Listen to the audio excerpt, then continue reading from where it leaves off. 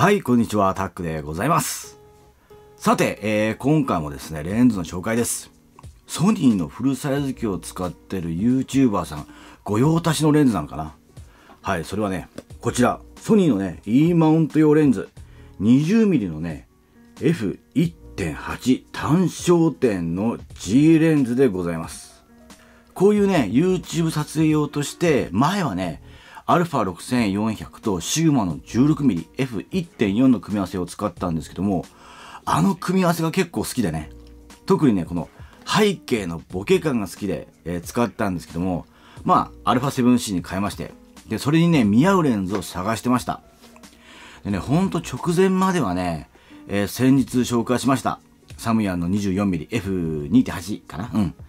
えー、もしくはね、シグマの 24mm70mm F2.8 にしようか迷ってたんですけども、まあですね、えー、このチャンネルを見てくださってるカメラ好きの皆さんからのね、まあ後押しっていうか、背中を押されたというか、まあ、最終的にはですね、背中を蹴られてですね、このソニーの 20mmF1.8 にしました。フルサイズの F1.8 ってことは、えっ、ー、と、APS-C 換算すると、えー、F1.2 なんで、かなり明るい。そしてね、ボケるレンズになってます。画角もね、広めなんですけども、その点はですね、あの、ソニーの全画素解像度ズーム、これをね、使ってみようかなと。えっとね、ソニーの独自の技術を利用して、こう、光学ズームに近い画質で2倍までズームができるという機能なんですけどもね、これが結構ね、えー、画質的にもいいんで、これを使おうかなと思っております。で、なんでこれが人気かというと、まずですね、20mm というこの広角だということ。で、F 値もね、1.8と明るくですね、まあ、夜間撮影でも適しているということ。で、G レンズなんですけども、あの、ソニーのね、高級レンズ、うんと G マスターに引けを取らない画質っていうかね、そういう性能みたいなんで、えー、こちらを購入しました。で、スペックなんですけども、えー、レンズ構成が12群14枚。で、フィルター径が 67mm。最短撮影距離が 0.19m。最大撮影倍率がオートフォーカスの時で0.2倍。マニュアルフォーカスだと0.22に上がります。レンズ内手ブレ補正はなしです。これが残念。まあ、その分ですね、重量が軽くなって 373g と。なので、えっ、ー、と、α7 シートの組み合わせで、えー、879g なんで、えー、ジンバルのね、モザミニ P にギリギリ乗る感じですね。それではですね、えー、レンズの方変えてみたいと思いますけども、今は、えー、α7C のレンズキットについてます。28mm、60mm、F4 から5.6のレンズ。で、えー、画角は今 28mm。で、F 値はですね、F4 で撮影しております。それではレンズを変えます。せーの、ドーンと。いかがでしょうか？いや、広いね。そしてね、明るい。いや、す、おすごえー、今ですね、F を1.8、開放ですね。そして、シャッタースピードを、先ほどまでは50分の1でしたけども、100分の1に、変えております。ISO 感度はね、500のままです。いや、すごいね。これ、ここら辺。もうね、背景のね、端まで見えてしまっております。すごいでしょ。いやー、何この浮き出てる感。いや、やっぱり、いいですね。いやー、これ、やばいな。でね、こうやってこれだけ画角が広いんで、ちょっとズームしようかな。はい、それではね、全画素解像度ズームを使ってみたいと思います。お、お、お。こんなもんなんでしょうかね。うん。画角的にはこんな感じかな？ピントが、あ、ピント合うね。はい。こんな感じ。お、ピントが合わない？あら。え、ここに来るとボケる？あー。はい。えーとね、調べてみました。えっ、ー、と、全画素解像度ズームの時には、えー、オートフォーカスはですね、中央設定にしかできないらしいです。なので、こう、いつものね、ポジションに行くと、ここにピントが当たるんで、僕の方がボケてしまうという感じです。あ、これちょっと厳しいかな。じゃあちょっと、えー、全画素解像度ズームをやめて、カメラを近づけようかな。はい、じゃあ近づけてみようか。はい。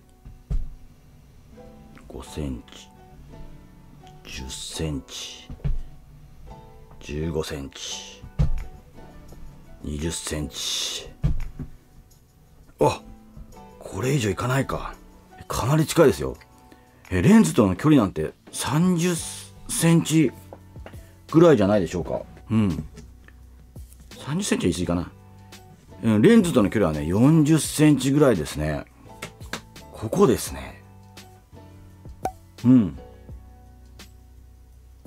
ではですね、ちょっと、えー、外で撮影してきた映像をご覧いただきたいと思います。どうぞ。はい。えー、今ね、出勤途中で撮影しております。こちら、ソニーの、えー、20mmF1.8G レンズです。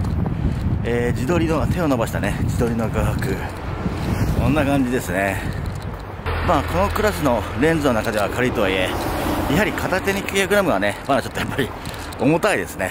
はい。いやーこれいいでしょうね。ちょっと F 値を開放にしてみようかな。はい、え、今こちらですね。シャッタースピード4000分の1秒。ISO 感度もね80まで下げてえー、撮影しております。やっぱりねそれ以上だとね ND フィルターとかつけてないので結構ね塩飛びするかなと思いましてここまで下げております。はい。この改造感そしてコントラストいかがでしょうかね。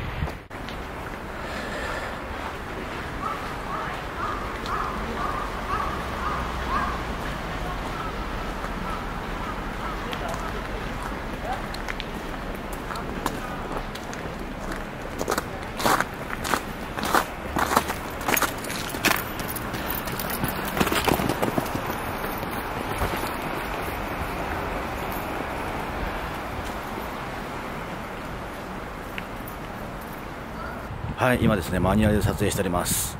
えー、シャッタースピード4000分の1秒。そして F が1.8です。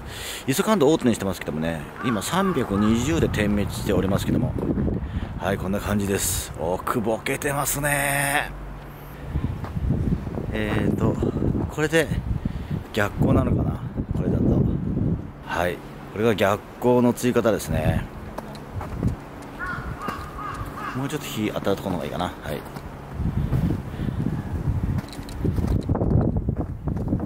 あ眩しい。眩しい。すごいボケ感。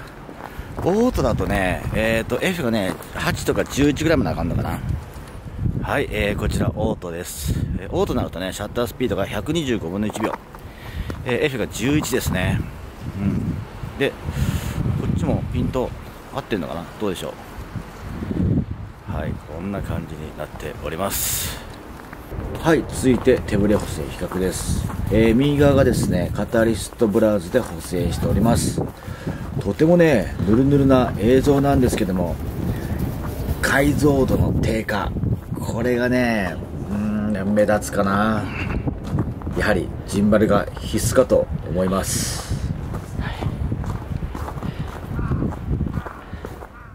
はい、続きましてね、写真を見ていただきたいんですけども、えー、こちらがですね、シャッタースピード1秒、ISO 感度が100、F が開放1.8で撮った写真です。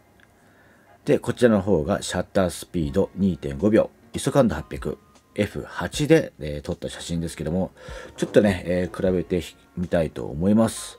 はい、こちらはですね、写真の中心、えー、ピントを当てたマンションを大きくして見ていただいてますけども、えーと、改造感、シャープさ、どうでしょうか？うん、いいですね。特にこう、色収差、フリンジも出ることなく、とてもこう、シャープなあ感じかなと思います。うん。コントラストも特に気になるところはないですね。はい、続いてはこちら。写真左上のね、えー、マンションの屋上をさらにアップで、えー、拡大してね、えー、見ていただいておりますけども、はい、ここでもですね、えー、色収差もないですし、意外とね、え写真の隅でも、えー、シャープさは残ってるかなという感じがします。で、こちら、えー、夜のね、11時半にね、撮影したんですけどもね、えー、そんな暗い中でもここまで映るというね、いやー、素晴らしいと思います。はい、ということでいかがでしたでしょうかまあね、ミーハー要素もあって背景をぼかした映像にしたいということでね、変えましたけども、思わずこれね、映像作品を撮りたくなるレンズかなと思います。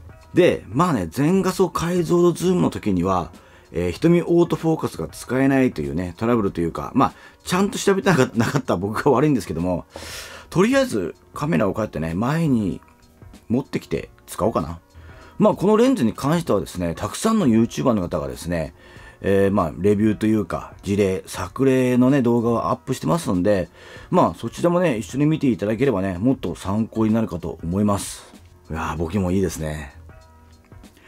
はい。ということでね、えー、今回はこちら、ソニーの、えー、EF20mm 単焦点 F1.8 G レンズの紹介でした。もしこの動画がですね、えー、よかったら、ぜひともね、高評価、そしてチャンネル登録、あとはですね、通知設定をオンにしていただければ嬉しいです。ということで、